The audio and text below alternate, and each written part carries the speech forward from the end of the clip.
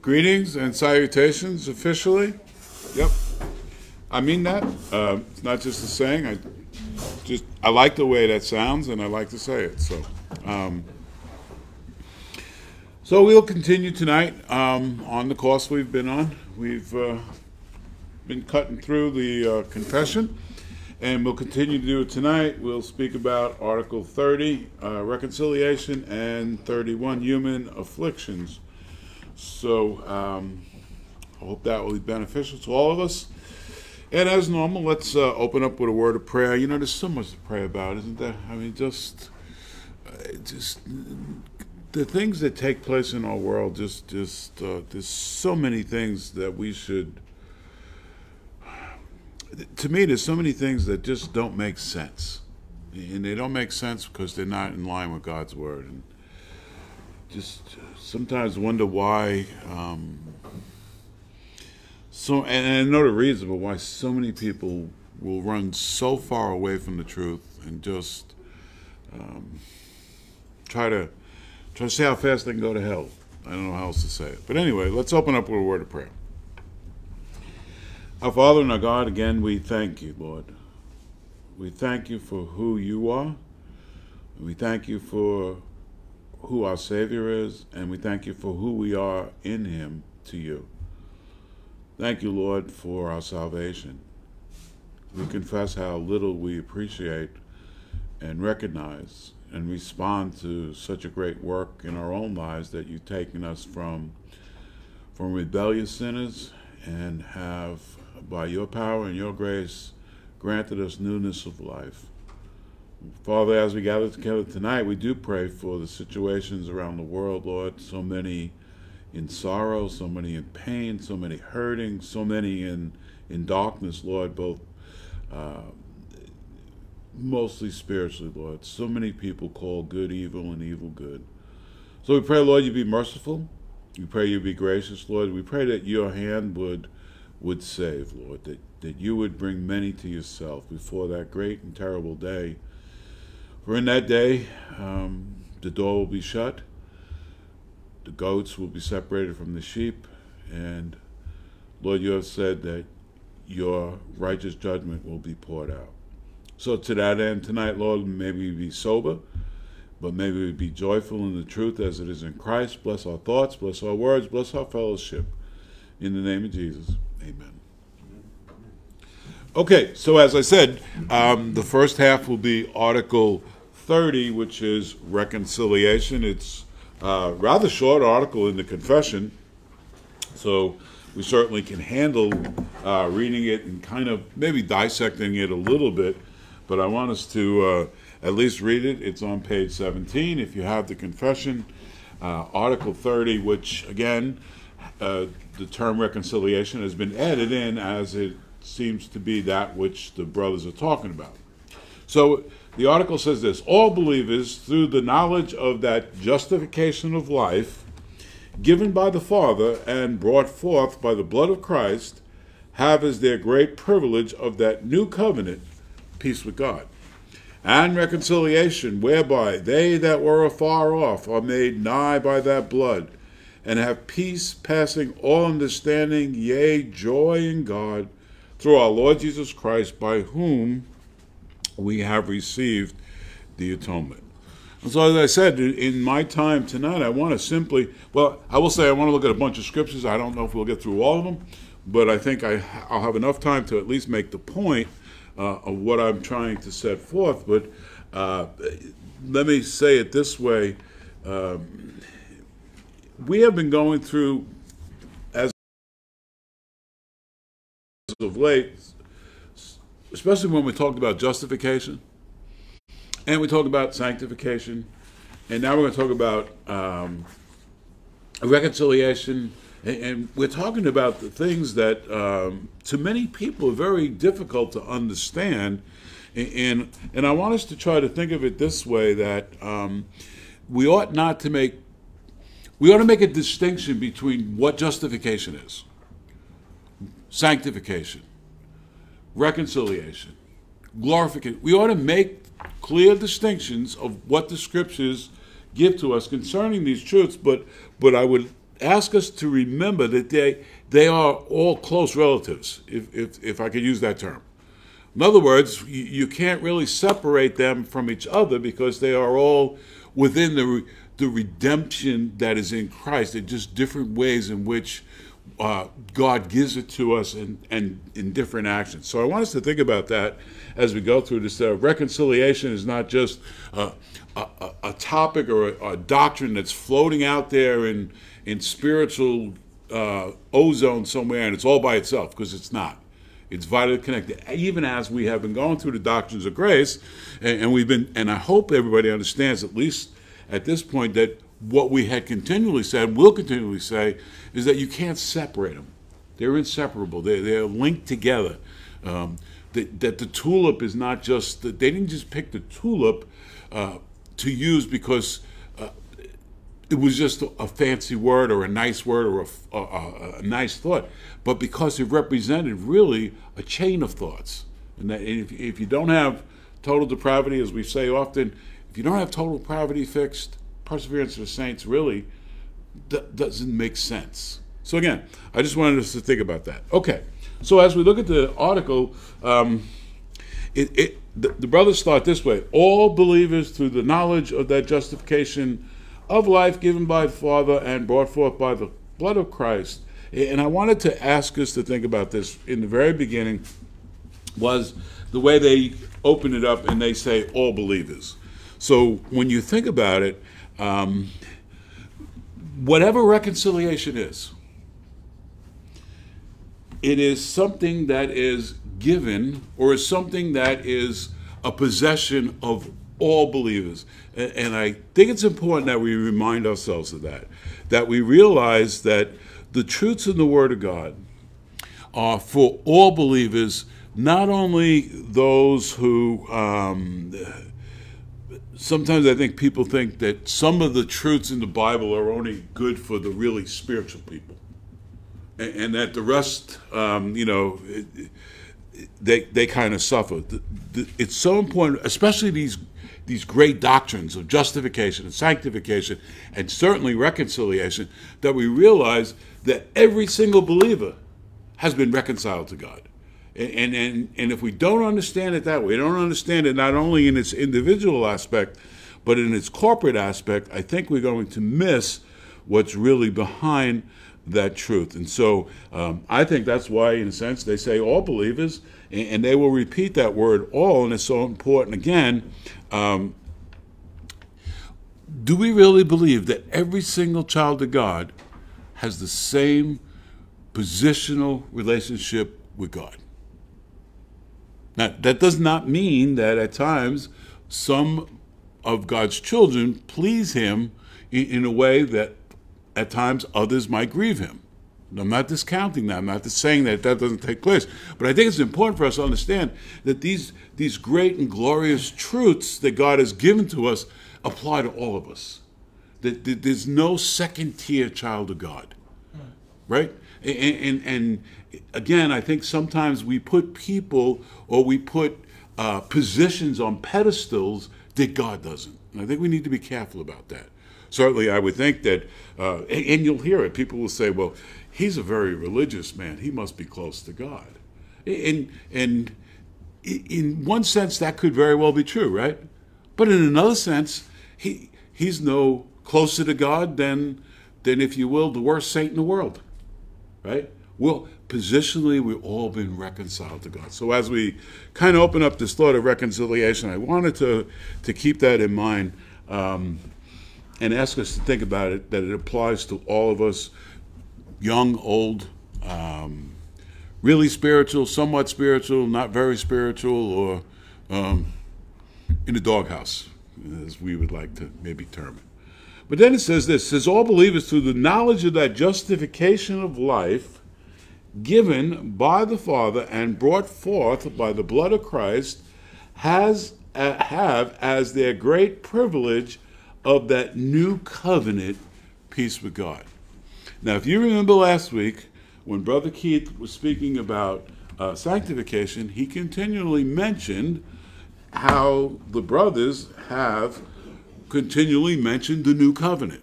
And certainly, I think it's one of the reasons, and you might not agree with me, that one of the reasons why we adopted this confession was because of their understanding and their uh, forwardness about the new covenant.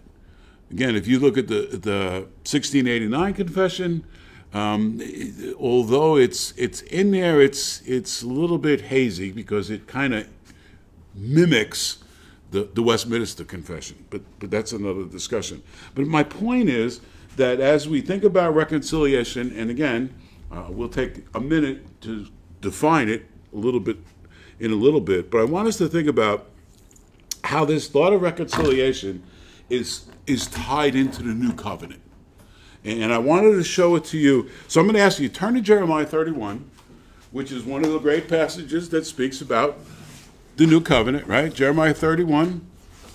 And I wanted to read a couple verses, and I wanted to continually make the point that I made that whatever reconciliation is, that it applies to all, and that in the new covenant, there's a um, there is a there is a reality of it in its totality, uh, in its totality, and not just in um, individuals. So let me just read it. It's very quick. Jeremiah 31, 31. Behold, the days are coming, says the Lord, when I will make a new covenant with the house of Israel and the house of Judah. Not according to the covenant that I made with their fathers in the day when I took them by the hand to bring them out of the land of Egypt, my covenant which they broke, though I was a husband to them, says the Lord. I want you now I want you to, to focus in on a couple of words as we go through this. Behold, this is the covenant that I will make with the house of Israel, says the Lord. I will put my law where? In their minds. And write it on whose heart? Their hearts. Who? Everyone that's in the new covenant. Right? And I will be their God, and they shall be my people.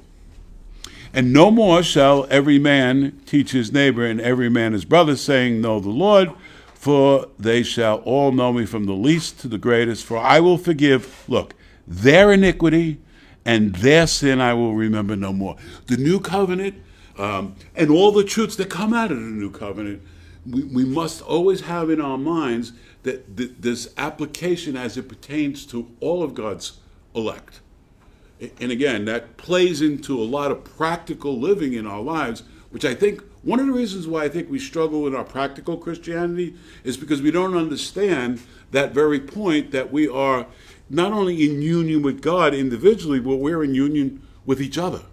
And, and that, that leads us to be able to live with each other in a community um, in a very real aspect. So I wanted to at least mention to that, mention that. Okay. Reconciliation. That's the what has been uh, put into parentheses. What is reconciliation anyway? And it says that uh, as the great privilege of that new covenant, peace with God and reconciliation. Reconciliation. What does that mean? Anybody? And, and I don't please don't try to give me some great doctrinal statement because uh, you'll probably mess it up. give me something simple. What, when you think of reconciliation, what do you think about? Being taken back, someone takes you back. Okay, okay, yeah. Uh, here, here's a real good hint, right? Look, it says, and reconciliation. Look what the next few words say. Whereby those who were what? Afar off are made nigh by the blood. And I think one of the simplest ways to define reconciliation is um, to distinguish it that way that it is, um, if you will, the removal of us being aliens, enemies, strangers, and bringing us back into fellowship and friendship with God. That that really is the essence of reconciliation.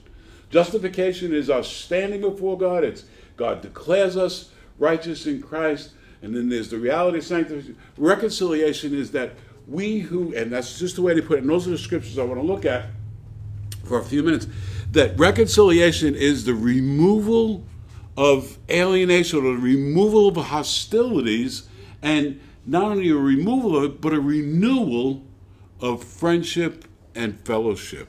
And in this in reconciliation, we have been reconciled to God. We who were in his enemies, and we'll look at a couple of scriptures on that, we are now, not only are we the children of God, we're in fellowship with him. We're in communion with God. So reconciliation is a great and, and glorious truth. It's the it's the thing that people don't have. How's that? And remember what it says in Isaiah? It says, There is no peace, saith my God, to who? Unto the wicked. Right? And and, and, and that that alienation, they're standing before God as enemies, will not allow friendship and fellowship because God's of pure eyes than to behold evil and, and, in that sense, even as the psalmist say, and we could try to dilute it all we want, says God hates all the workers of iniquity. So when you think about that. So what I want to do, just for a few minutes, I got a few minutes left, I want to look at some scriptures that will reinforce this thought um, that reconciliation is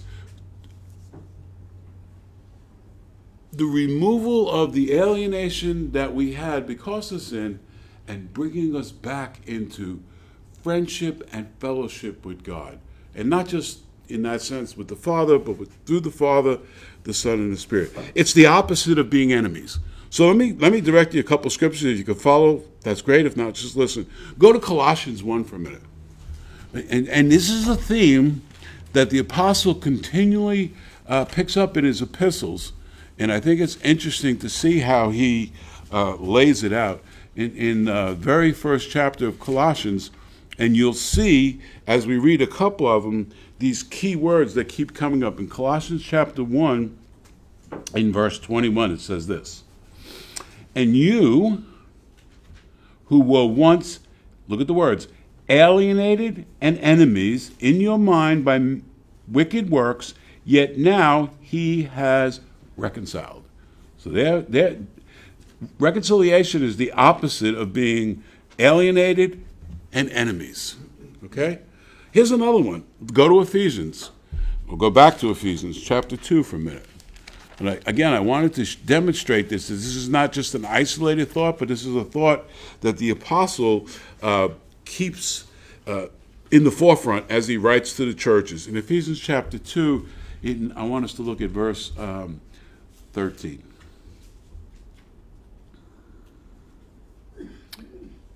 says, But now in Christ Jesus, you who were once far off have been made near by the blood of Christ, for he himself is our peace, who has made both one, has broken down the middle wall of division between us, having abolished in his flesh the enmity that was between, uh, that is, the law of commandments contained in ordinances, so as to create one new man uh, from the two, thus making peace.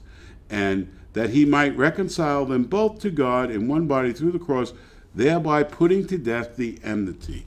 Again, and, and there's, there's, different contexts here it, it, we could discuss, but I still think the point will, will stand that reconciliation is the removal of being enemies, aliens, aliens, strangers, in opposition to God, to being brought into fellowship and communion with God. Here's another one in Romans chapter nine, uh, Romans chapter five. All familiar passages, friends, but when you link them together like this, I think these points uh, grow larger and larger. In Romans chapter five, in verse nine, it says this. I'll read from verse 8. God demonstrates his own love towards us in that while we were still sinners, Christ died for us. Much more then, having now been justified by his blood, we shall be saved from wrath through him. For if when we were enemies we were reconciled to God through the death of his Son, much more having been reconciled, we shall be saved by his life. And not only that, but we also rejoice in, in God through our Lord Jesus Christ, through whom we have now received the reconciliation. There it is again. Again, we not only, um, our standing before God is not only uh, taken care of, but but but the fellowship and the communion that comes with it, it has also been taken care of through the Lord Jesus Christ to bring us into union. Remember what Jesus said, I and the Father are one, and, and the Father is in me, I and the Father, and, and you and me. And, and, and this whole idea of union, friendship, fellowship, right? It's kind of hard to um, be friends with someone while you're their enemy at the same time. Although I guess there's that saying, what is it saying? Keep your friends close and your enemies closer. Um, think of it from the new creation. He, all, all things pass away, behold, all things have become new. We've been reconciled to God through the Lord Jesus Christ. We've been brought into friendship. How many of us really think that God is our friend, by the way? Right? I think we think, we know God is our God. We know God is our Lord. We know God is our man. You had brought it up, even talking about Abraham being the friend of God. Well, guess what? We, we are in, having been reconciled by the blood of Christ, we have friendship with God. We have fellowship with God. We have been reconciled and now we are friends. And again, it's the opposite of being an enemy. It's the opposite of being a stranger. It's the opposite of being an alien. Listen, um, if someone comes knocking at your door and you don't know him or her, tell me you're not a little skeptic about letting them in your house. And I know there's no worries with you because you got you got protection in every pocket. I know, I know. But um, but it's different when it's a friend. It's different when it's when you know and you have fellowship with someone. Then you open the door wide open. Come on in, right? Because that union has already been established. That friendship, that fellowship has already been established. And, and that's what we have, brothers and sisters. That's what we have in our Lord Jesus Christ. And that's where I think a lot of people miss the reality of their salvation. That it's more than just uh, a, a legal standing. And honestly, it's more than just that I'm going to be with God in heaven. I'm, God is my friend now. And, and I'll tell you what, and we were talking about this the other day, we were talking about it for a different reason. But I remember, especially when I was, um, not that I'm not in the ministry now, but you have few friends in the ministry, by the way. And if you don't think that's true, uh, try the ministry. You'll find out.